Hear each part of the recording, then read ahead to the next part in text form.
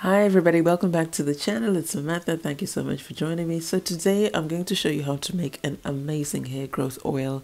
So even if your hair is growing, but if you want your hair to grow faster, you want to thicken up your hair so that you have thicker, fuller hair, then this oil is for you. I've been using it and I've seen a dramatic change. But before we get into the video, don't forget to subscribe comment, like, and also sign up for notifications.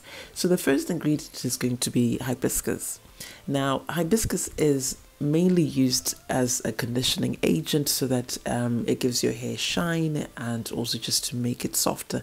However, hibiscus can actually improve the rate at which the blood flows, and that is the key to hair growth. If you can improve the blood circulation, you are going to boost hair growth because when you improve the circulation in the scalp, you're going to improve um, the deposit of nutrients and oxygen to the to the follicles, and the follicles need the nutrients and um, oxygen. So that's why hibiscus can really help with hair growth in addition to things like um, conditioning the hair and also uh, delaying premature hair graying.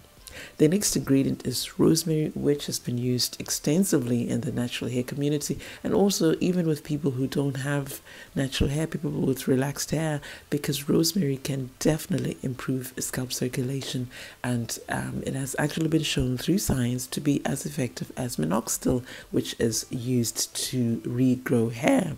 So this oil is not only going to increase the rate at which your hair grows, it's also going to help your hair to grow back in bald patches because um, of that rosemary.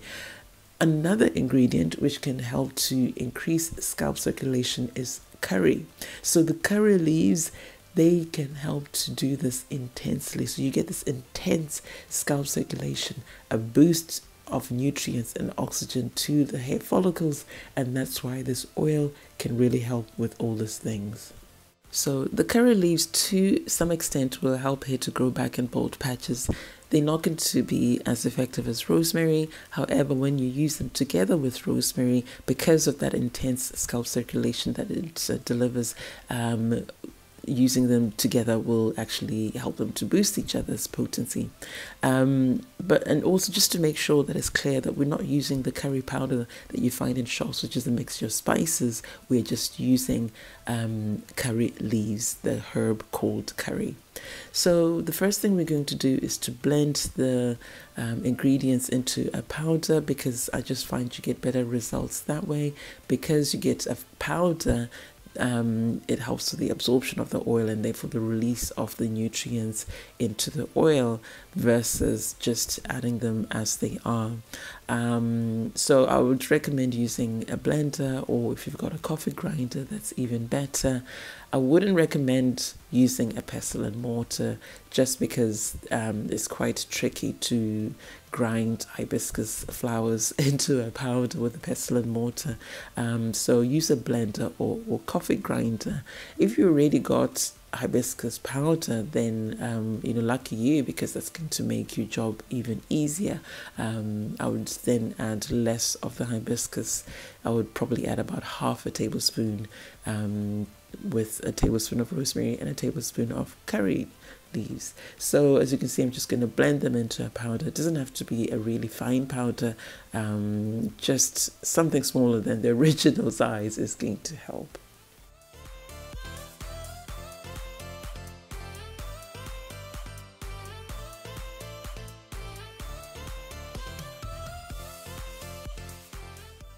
So now that I've blended my ingredients into a powder, I'm going to add um, all of that into a jar. So it needs to be a heat resistant jar because we're going to warm this up um, over the stove. Um, I prefer to heat the oil up initially because that just helps the, the infusion. However, if you're not into using heat at all, then you can just store this away um, for a few weeks. So I'm going to add um, half a cup of uh, penetrating oil into the jar. So it needs to be a penetrating oil because you want it to be able to penetrate the skin and go into the hair follicles. Um, so a good penetrating oil is something like grapeseed. Um, alternatives are almond oil and olive oil and also um, coconut oil. If you're going to use coconut oil, I'd recommend you use fractionated coconut oil because that um, stays as a liquid rather than just you know regular coconut oil which can solidify um, after a while. Although it doesn't really matter, to be honest, you can still use it, it's fine. So um, now that I've added my oil, I'm just going to mix it really well um, and then put that jar into the pot. So the next step is to warm up this mixture in a hot water bath. So I'm just going to put some water into the pot um, and then put the jar in. You'll see me putting a cloth underneath the jar because that just helps to stop the clattering. I did a short on that just explaining what I'll be doing. Um, it's not absolutely necessary. It's not going to add anything to the oil, but it just uh, helps stop, you know, that clattering sound that you get, which is quite irritating. Um, so we're only going to warm this up for five minutes, not longer than that, because we don't don't want to destroy the nutrients. Okay, um, if you don't want to use heat, that's absolutely fine. You just put that away for about four weeks. Um, but I find that if you use a little bit of heat, just warming up for five minutes, you're going to help with your infusion, make it faster and also more effective. Because what will happen is that the herbs will expand, absorb the oils, and then um, when they release the oils as they're cooling down, um, you just get all of the nutrients. So a much more potent oil. So after five minutes, we're just going to take it off the stove and then allow it to cool down. And then once it's cooled, I'll put it into a dark cupboard. Every now and again, you need to shake it up. We're going to infuse this for a minimum of two weeks. The longer you infuse it, the better. So if you can infuse it for four weeks, even better. So as you see that the herbs will settle at the bottom, most of them, but there'll still be some of the rosemary floating um, or some bits of the rosemary and bits of the curry leaves floating in there. So I always find it um, helpful to strain the oil that you're going to use. So I'm not straining everything. I'm just going to strain as much as I need to use um, on this occasion, but it's perfectly fine to strain all of the oil um, and then you just have a nice clean oil. Uh, yeah, it's not really going to hurt if you get bits of the powder or bits of the herbs on your scalp in your hair, but it's just more difficult to get out uh, when it comes to washing your hair. So that's why I prefer to strain it. Um, and I'm just using an empty tea bag, nothing fancy, but you can use whatever you've got this um, finely woven to make sure that it catches all the particles and then you end up with a nice clean oil. So this oil, like all the other hair growth oils that I've shown you how to make, it's very, very versatile. It can be used as um, hot oil treatment.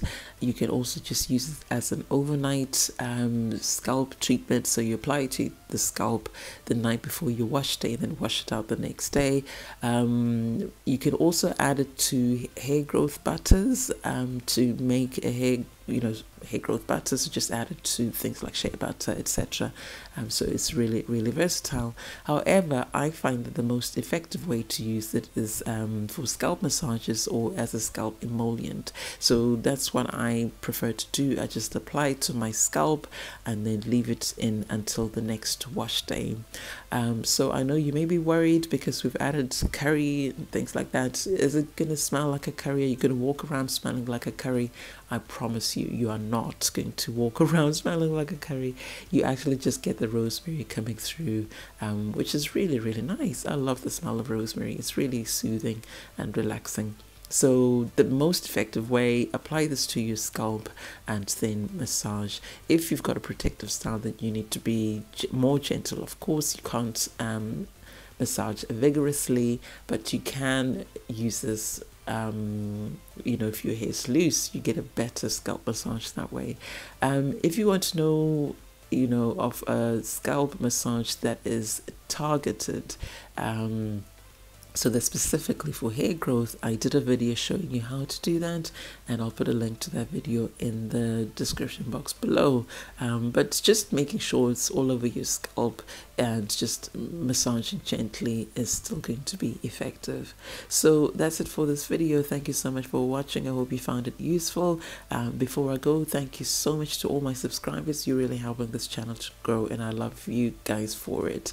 Um, if you are watching this video you have not yet subscribed then go ahead and subscribe and also help me reach my goal of 10,000 subscribers by uh, sharing the video with other people and asking them to come over to the channel and to subscribe. Um, make sure you ring the notification bell so that you don't miss any of my videos and also I would appreciate if you give the video a thumbs up because that helps to boost um, the video on the algorithm. So I'll have another video for you real soon. Until then, take care of my lovelies and take care of your loved ones. God bless and bye for now.